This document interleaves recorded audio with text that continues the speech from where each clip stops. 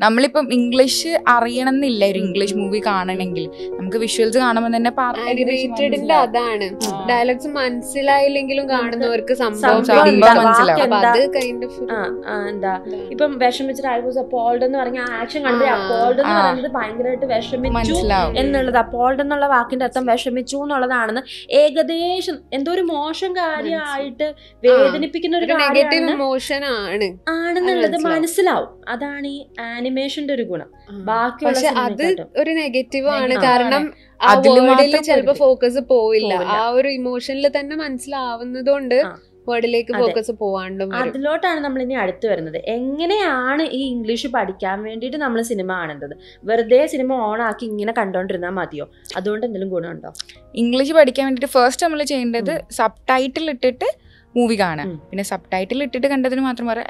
Like ഒന്നിക്ക് ആ sub title ഇട്ടിട്ട് ഒരു മൂവി മൊത്തമായിട്ട് കാണുക അല്ലെങ്കിൽ പിന്നെ അതിനുശേഷം സബ് ടൈറ്റിൽ ഇട്ടിട്ട് ഇട്ട് സബ് ടൈറ്റിൽ ഇല്ലാതെ കാണുക അല്ലെങ്കിൽ പിന്നെയുള്ള ഓപ്ഷൻ സബ് ടൈറ്റിൽ ഇട്ട് കുറച്ച് ഒരു ഒരു 10 സീൻ കാണാം.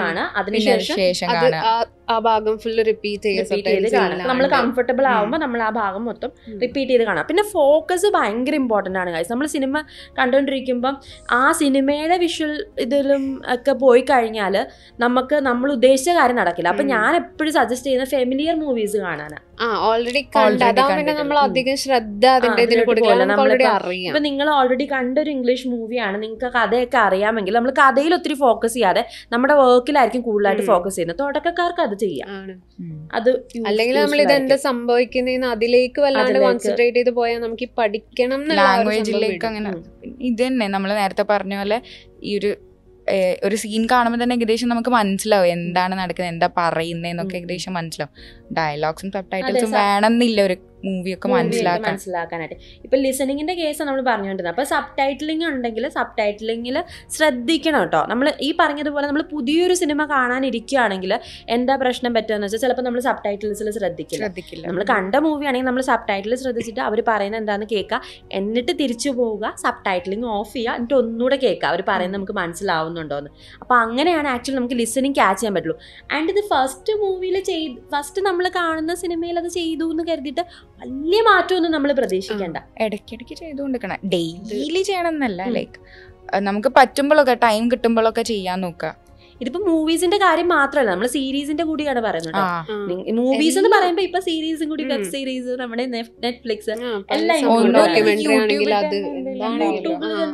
വീഡിയോസ് ഇന്റർവ്യൂസ് ഒക്കെ തന്നെ സബ് ടൈറ്റിൽസ് ഇട്ട് സ്പീച്ചസ് ഒക്കെ ഇതെല്ലാം ഇൻക്ലൂഡഡ് ആണ്. വിഷ്വൽ മീഡിയ കംപ്ലീറ്റ് ആയിട്ട് ഇതിനകത്ത് ഇൻക്ലൂഡഡ് ആണ്. സിനിമകൾ മാത്രമല്ല നമ്മൾ പറയുന്നത്. നിങ്ങളുടെ നിങ്ങൾക്ക് ഏതാണോ ആക്സസിബിൾ ഇപ്പം ഇതിന് വേണ്ടിയിട്ട് പോയി നെറ്റ്ഫ്ലിക്സിന്റെ സബ്സ്ക്രിപ്ഷൻ എടുക്കേണ്ട ആവശ്യമൊന്നും ആവശ്യം. വരുന്നില്ല. നമുക്കിതിന് ഇതിന് അങ്ങനത്തെ കാര്യമൊന്നുമില്ല. യൂട്യൂബിലെല്ലാം കിട്ടും. ടെലഗ്രാം ഉണ്ട്. അത് പറഞ്ഞേക്ക്. അപ്പോൾ ഓക്കെ അപ്പൊ നമ്മൾ പറഞ്ഞിട്ടുണ്ടത് യൂട്യൂബിൽ നമ്മൾ അത് യൂസ് ചെയ്യാം എന്നുള്ളതാണ് മാക്സിമം യൂട്ടിലൈസ് ചെയ്യാം നമുക്ക്. ഫ്രീ ആയിട്ടൊരു സാധനം കിടക്കുമ്പോൾ നമ്മൾ എന്തിനാ പൈസ കൊടുത്ത് നെറ്റ്ഫ്ലിക്സ് എടുക്കേണ്ട ആവശ്യം? ഇനി എന്താ കമ്മിങ് ബാക്ക് ലിസണിങ് നമ്മൾ പറഞ്ഞു. സ്പീക്കിംഗ് സ്പീക്കിംഗ് സ്പീക്കിംഗ് പ്രത്യേകിച്ച്. മൂവീസ് പറയുന്ന സമയത്ത് നമ്മൾ ഈ സബ് ടൈറ്റിൽസ് അല്ലെങ്കിൽ ഈ ആക്ടേഴ്സ് ഡയലോഗ്. പറയുന്നതിന്റെ കൂടെ നമുക്ക് അതിന്റെ കൂടെ പറഞ്ഞു നോക്കാം. ഓരുടെ കൂടെ. പിന്നെ ചില ആൾക്കാർ ചെയ്യും ലൈക്ക് അത് കണ്ടിട്ട് അതുപോലെ ആക്ട് ചെയ്യാനും. നമ്മൾ ഒറ്റയ്ക്ക് ഇരിക്കുമ്പോ ഒക്കെ ചെയ്യാലോ. ചെയ്യാം. ആൾക്കാരുടെ മുമ്പ് ചെയ്യുമ്പോഴല്ലേ നമുക്ക് ആ പ്രശ്നം നമ്മൾ നമുക്ക് ട്രൈ ചെയ്യാം. അതൊക്കെ നല്ല. നല്ല ഫണ്ടുള്ള പരിപാടിയല്ലേ? പിന്നെ ഉറപ്പായിട്ട് ഫണ്ണുള്ള പരിപാടിയാണ്. ഒത്തിരി ചെയ്തിട്ട് കുറച്ചേറെ നീ ചെയ്തിട്ടുണ്ടോ. എനിക്കിഷ്ട. എന്ത് ചെയ്യാൻ ഉള്ളിലൊരു കൊച്ചു കുട്ടിയാണ്. അല്ല ചേച്ചി ചെയ്ത് നോക്ക് നല്ല രസമാണ് ആ ഞാൻ ചെയ്യാറുണ്ട്. ഞാൻ ഈ ഐ എൽസിന്റെ സമയത്ത് എന്താ നമുക്കിപ്പം ഇപ്പൊ ഈ ഞാൻ പ്രോപ്പറായിട്ടൊരു ഐ എൽസ് കോച്ചിങ്ങിന് പോയിട്ടില്ലായിരുന്നു. ഒന്നാമത്തെ കാര്യം എനിക്ക് ഇംഗ്ലീഷ് അറിയാലോ എന്നുള്ള ഒരു ഓവർ കോൺഫിഡൻസ് ഉണ്ടായിരുന്നു അപ്പം ഞാൻ അതുകൊണ്ട് എന്താ ഫസ്റ്റ് ടൈം പാളി. അത് വേറെ കാര്യം. അപ്പോൾ ആ സമയത്ത് ഈ എന്താ എനിക്കൊരു തെറ്റിദ്ധാരണ ഉണ്ടായിരുന്നു. നമ്മൾ ഭയങ്കരമായിട്ട് ആക്സെന്റ് ഇട്ട് ഐ എൽസിൽ സംസാരിച്ചാൽ ശരിയാവുള്ളൂ. അതുകൊണ്ടാണ് എനിക്ക് പാളിയത് അപ്പോൾ ആ സമയത്ത് ഈ ആക്സിന്റ് പഠിക്കാനായിട്ട് ഞാൻ ഭയങ്കരമായിട്ട് മിമിക് ചെയ്യായിരുന്നു വേണ്ടത്ര സമയം. കിട്ടാത്തതുകൊണ്ട് അതിപ്പോൾ ഞാനതാ പറഞ്ഞത് ഒരു വലിയ പ്രോസസ്സാണ് നമ്മൾ ഒന്ന് രണ്ട് ആഴ്ച കൊണ്ട് ശരിയാവണം എന്നല്ല ഞാൻ ഒന്ന് രണ്ട് ആഴ്ച ഇങ്ങനെ മിമിക് ചെയ്ത് മിമിക് ചെയ്ത് കുളമായി അത് വേറെ തന്നെ കഥയാണ് പിന്നെ നമുക്ക് പറയാം. അപ്പോൾ അതാണ് ഈ ഒരു സംഭവം ഞാനും ചെയ്തിട്ടുണ്ട്. അത് actually it's a good idea എന്നോട് ചോദിക്കുന്നവരോടൊക്കെ ഞാൻ പറയാറുണ്ട്. പ്രത്യേകിച്ച് നമ്മൾ ലൈവിലൊക്കെ ചോദിക്കും. ആക്സെന്റ് എങ്ങനെ ഇമ്പ്രൂവ് ചെയ്യുക? ആക്സെന്റ് എങ്ങനെ ഇമ്പ്രൂവ് ചെയ്യുക? ഇപ്പോൾ ഷഫ്ന പറഞ്ഞതുപോലെ ജസ്റ്റ് കേട്ട് നോക്കുക എന്നിട്ട് അതായത് ഒരു ഒരു ഡയലോഗ് കേൾക്കുക. എന്നിട്ട് അത് റിപ്പീറ്റ് ചെയ്യുക. ആ നമ്മൾ ഈ മലയാളം ഡയലോഗ്സ് ഒക്കെ കാണാണ്ട് പഠിക്കണം നമ്മൾ എത്ര അതുപോലെ. പിന്നെ ഇത് മ്യൂസിക് മ്യൂസിക്കിന്റെ ലിറിക്സ് നമ്മൾ ബൈ Lyrics, ഹാർട്ട് പഠിക്കുമ്പോൾ അതും. ഭയങ്കരമായിട്ട് ഇംപ്രൂവ്മെന്റ് ഇംപ്രൂവ്മെന്റ് ഉണ്ടാവും. അതും ഭയങ്കര നൈസ് ആയിരിക്കും. ഈ മ്യൂസിക്കിന്റെ തന്നെ വേറൊരു ബെനിഫിറ്റ് എന്ന് പറയുന്നത് നമുക്ക് ലിറിക്സ് ഓൺലൈൻ അവൈലബിൾ ആണ്. കോമിൽ പോയി കഴിഞ്ഞാൽ നമുക്ക് കിട്ടും. സ്ക്രിപ്റ്റും അവൈലബിൾ ആണെന്ന് നിങ്ങൾക്ക് അറിയോ ട്രാൻസ്ക്രിപ്റ്റ് കിട്ടും. ഈ ആ മൂവീസിന്റെ സ്ക്രിപ്റ്റ് കിട്ടും. പുതിയ അറിവല്ലേ? ഞാൻ അറിഞ്ഞിട്ട് ഇവിടെ എല്ലാത്തിന്റെ ഇന്റർവ്യൂസിന്റെ ട്രാൻസ്ക്രിപ്റ്റ് കിട്ടും. എല്ലാത്തിനും ട്രാൻസ്ക്രിപ്റ്റ് കിട്ടും. എല്ലാ സിനിമകളുടെയും കിട്ടണം എന്നില്ല. ഇപ്പൊ chat G T P G T P അല്ല G P T sorry G P T chat G P T ഒക്കെ ഉള്ളത് കൊണ്ട് കുറച്ചുകൂടി ആക്സസിബിൾ ആണെന്നാണ് എനിക്ക് തോന്നുന്നത്. ഞാൻ ചാറ്റ് ജി പി ടി നോക്കിയിട്ടില്ല സ്ക്രിപ്റ്റിന് വേണ്ടിയിട്ട്. പക്ഷെ മൂവീസിന്റെ സ്ക്രിപ്റ്റ് നമുക്ക് വേണ്ടത് ഇപ്പൊ എന്തും കിട്ടും. ഉം. നമുക്ക് ഇപ്പൊ ട്രാൻസ്ക്രിപ്റ്റ് വേണമെങ്കിലും ലിറിക്സ് ആണെങ്കിലും ഒക്കെ. ഈസിലി അവൈലബിൾ അവൈലബിൾ ആണ്.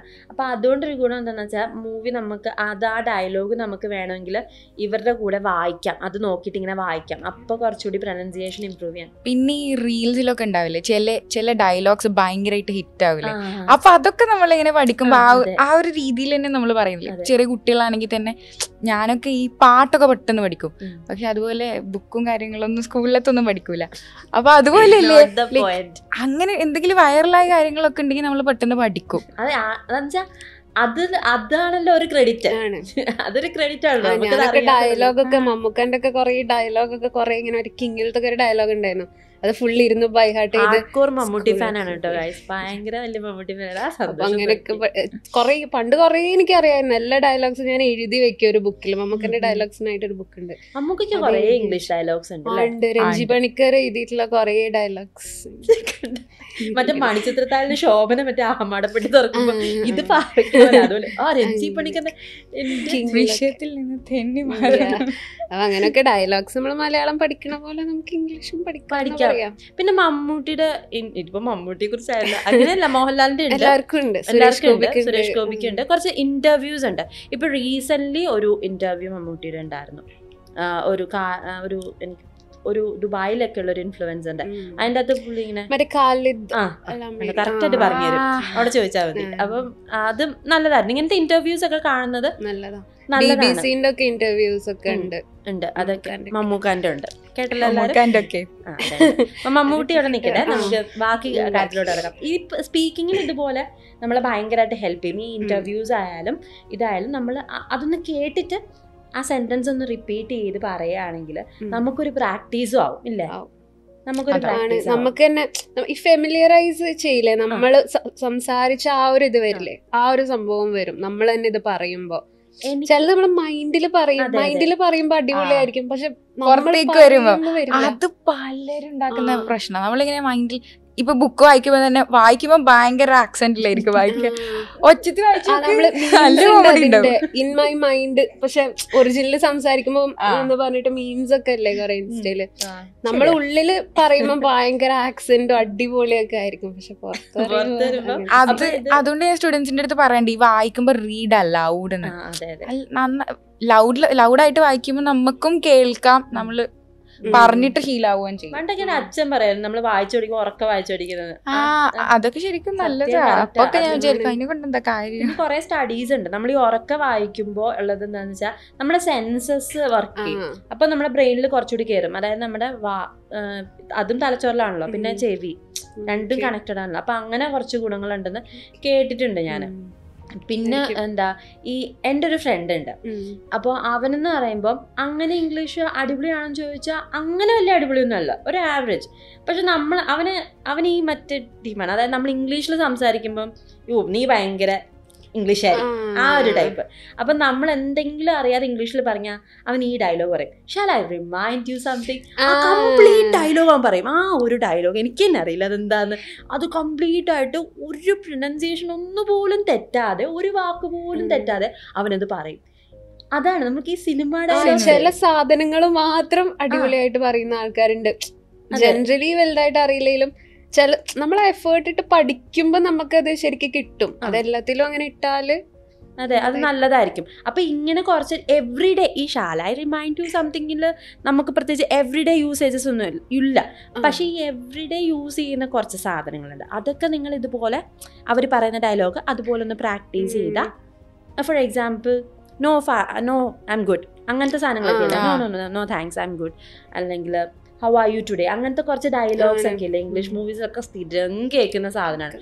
ഇതൊക്കെ നിങ്ങൾ ആ ഒരു പ്രൊനൗൺസിയേഷൻ പ്രാക്ടീസ് ചെയ്താൽ നമ്മൾ അത്യാവശ്യം യൂസ് ചെയ്യാൻ പറ്റിയ സെന്റൻസസ് ആണത്. അത് ഒരാളോട് നമ്മൾ കോൺവെർസേഷൻ സ്റ്റാർട്ട് ചെയ്യുമ്പോൾ ഒക്കെ അപ്പൊ അതൊക്കെ നമുക്ക് യൂസ് ചെയ്യാം. പിന്നെ ഇത് മൂവീസിലെന്ന് വെച്ചാൽ ഇപ്പൊ ഇത് നമ്മൾ വായിക്കുകയാണെങ്കിൽ അതിന്റെ ടോണ് നമുക്ക് എങ്ങനെയാണെന്ന് അറിയാൻ പറ്റില്ല. പ്രൊനൗൺസിയേഷനും കറക്റ്റ് ആയിട്ട്. ഇപ്പൊ ഒരു വാക്കിന് തന്നെ രണ്ട് പ്രൊനൗൺസിയേഷൻ രണ്ട് മീനിങ് ഉണ്ട്.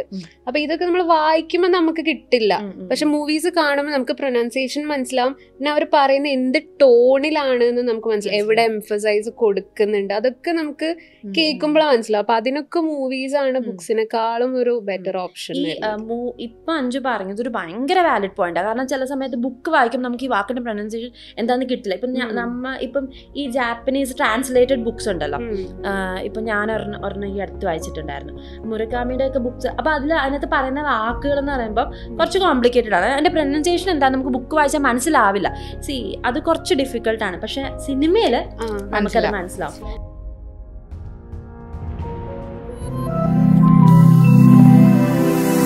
English Mitra.